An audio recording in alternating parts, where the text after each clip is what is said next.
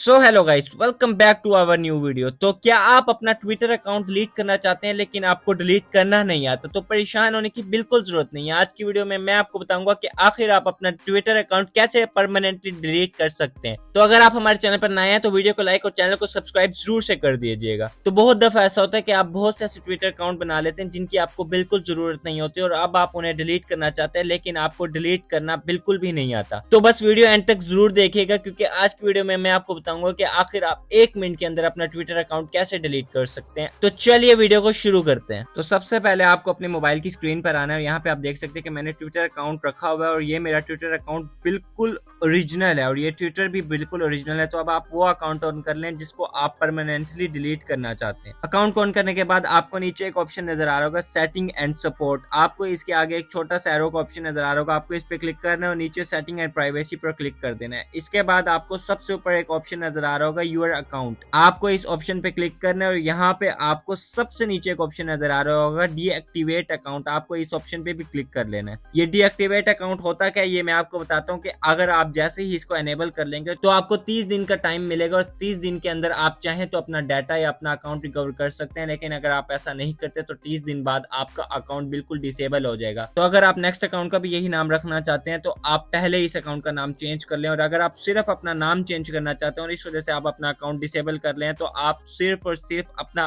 Setting में जाके नाम चेंज कर सकते हैं। उसके अलावा आप तीस दिन ये अकाउंट यूज़ बिल्कुल नहीं कर सकते। अगर आप इस अकाउंट को ऑन करने की कोशिश करेंगे तो ये डीएक्टिवेशन बिल्कुल खत्म हो जाएगी और आप खुद भी चाहे तो आकर ये डीएक्टिवेशन बिल्कुल खत्म कर सकते हैं। तो अगर आप ये डीएक्टिवेशन गलती से ऑन कर लेते हैं तो आप यहाँ पे आके इस ऑप्शन को फिर से कैंसिल कर सकते हैं। तो अगर आप सारी चीज़ें समझ गए तो अब आप नीचे रेस्ट ऑप्शन जो डीएक्टिवेट का नज़र आ रहा है, आप इस पर क्लिक करके अपना अकाउंट डीएक्टिवेट कर सकते हैं। तो इसके बाद ये यहाँ पे आपसे आपके अकाउंट का पासवर्ड मांगेगा तो सबसे पहले यहाँ पे आप अपना जो भी पासवर्ड है वो एंटर कर दें। पासवर्ड एंटर करने के बाद आपको नीचे रेड कलर में डीएक्टिवेट का ऑप्शन नज़र आ रहा होगा। आपको इस ऑप्शन पे क्लिक करना है यहाँ पे फिर आपको एक और ऑप्शन नज़र आएगा कैंसिल और येस डीएक्टिवेट तो आप कैंसिल पर बिल्कुल क्लिक मत कीजिएगा, इससे आपकी सारा प्रोसेस कैंसिल हो जाएगा। जैसे ही आप येस डीएक्टिवेट पे क्लिक करेंगे तो आपका अकाउंट यहाँ पे डीएक्टिवेट हो जाएगा। मैं यहाँ पे इस पे क्लिक नहीं करा क्योंकि मैंने अपना अकाउंट डीएक्टिवेट नहीं करना। तो यहीं पे हम अपनी वीडियो को करते हैं। अगर आपको हमारी वीडियो पसंद आई तो वीडियो को लाइक और चैनल को सब्सक्राइब ज़रूर से कर दीजिएगा और बेल नोटिफिकेशन को ज़रूर से प्रेस कर दीजिएगा ताकि आपको हमारी हर वीडियो की नोटिफिकेशन हासिल होती रहे। तो मिलते हैं अगली वीडियो में। Thanks for watching our video